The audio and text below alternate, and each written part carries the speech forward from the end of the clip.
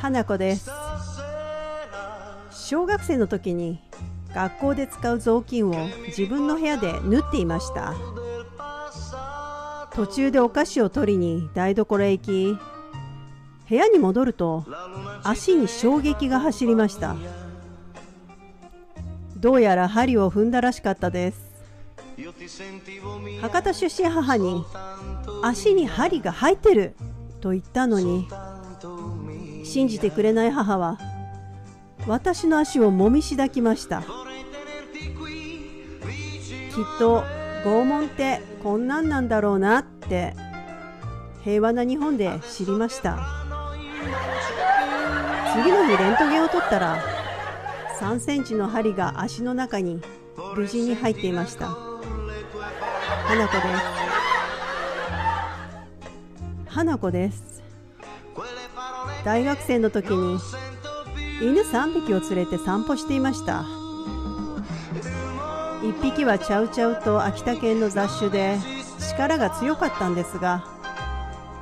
散歩中野良犬に襲いかかられ私は後ろに転んで頭を石にぶつけました。1リットルぐらい血が出てその後血がゼリー状のようになっていました。救急車に運ばれましたが5針縫っただけですぐ家に帰されました。家に帰ってみると私が倒れていた場所にチョークで人型が描かれていました。いまだにあれは警察がやったのか子供のいたずらなのか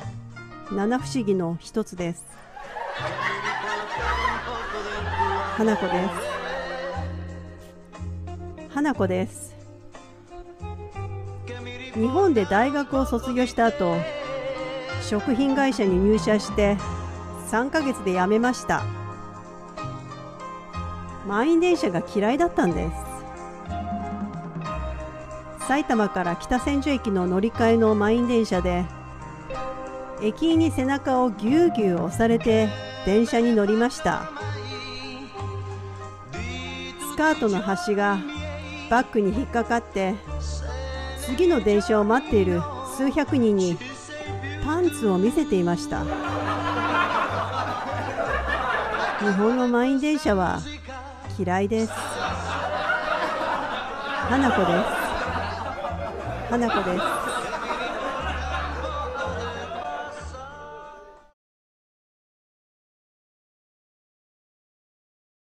皆さんこんにちは。花子です。最近ツイッターにハマっています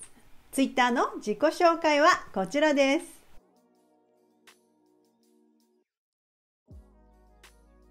目指せ1万人ということで、ツイッターのフォローもよろしくお願いします。今日、第3四半期決算発表のイントゥイットを調べようということで、今日の夜、アメリカ市場が開いて、クローズするときに決算発表があるようです。現在の株価はどうなってるでしょうか？過去1年の株価も結構好調です。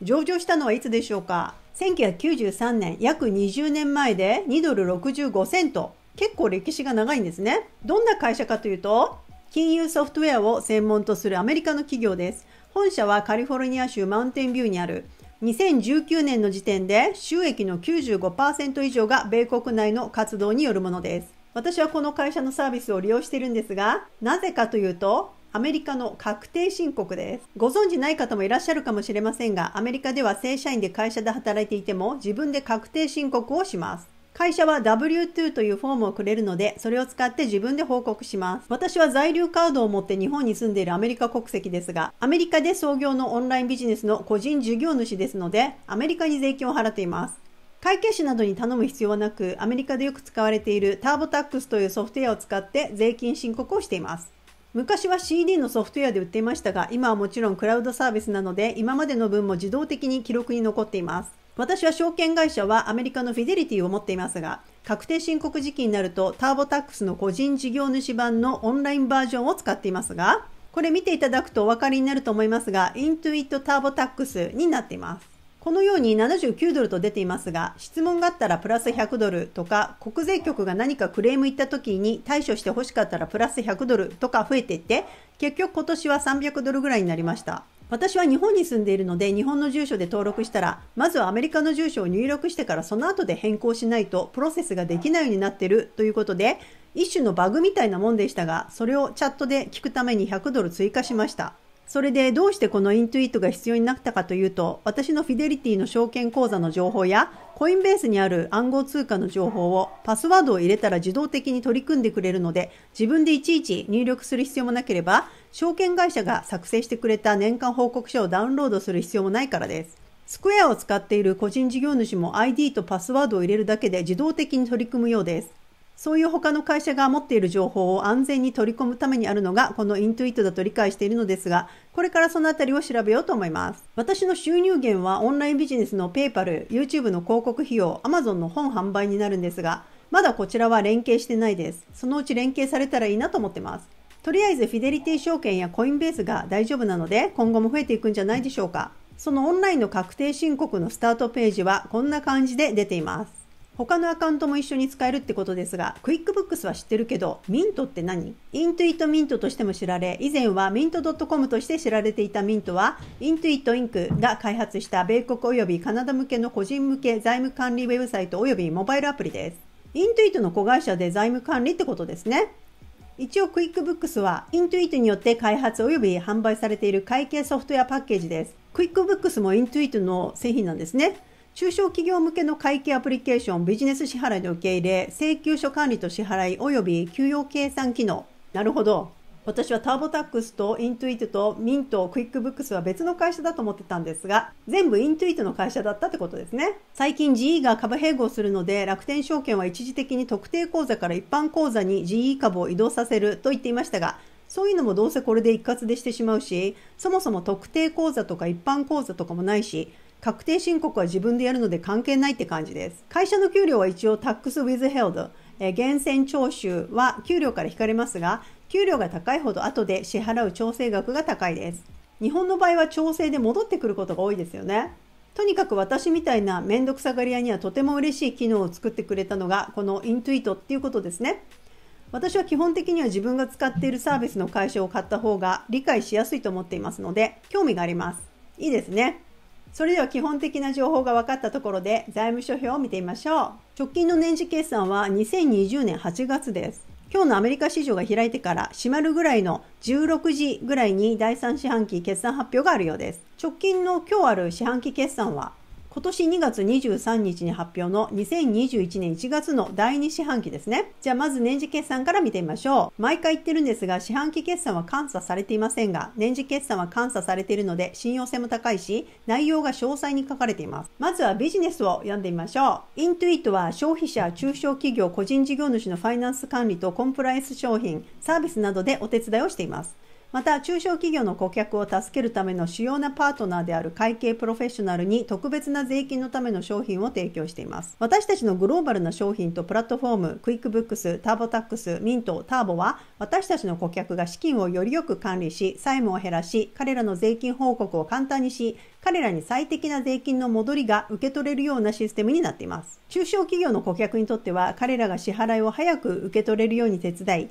彼らの従業員に給料を素早く払えるように手伝い、資金にアクセスし、簿記が正確に行われるように確認し、顧客の獲得と維持のお手伝いをしています。私たちの商品プラットフォームを通して5000万の顧客がいます。2020年4月の決算では、アメリカ、インド、カナダ、イギリス、イスラエル、オーストラリア、その他の国に1万600人の従業員がおり、77億ドル、約8300億円の売り上げでした。Intuit はカリフォルニアで1984年に創業され、デラウェアで法人登録されて、1993年3月に上場しました。大体想像通りですね。意外とビジネス内容が思ったのと違うということもあるので、決算書のビジネスは読んだ方がいいと思います。セグメントは3つあって、1、中小企業と個人事業主、主にクイックブックを使ったサービス。2、一般消費者、主に TurboTax で確定申告の手伝いや、 TurboTax とミントでファイナンスの健全性の確認など。3、戦略的パートナー、中小企業の戦略と税金報告サービス。 Lacerte、ProSeries、ProFile、ProConnect、Tax Online などのサービス。そのサービスは知りませんが、 Lacerte、もっと複雑な税金関係のようですね。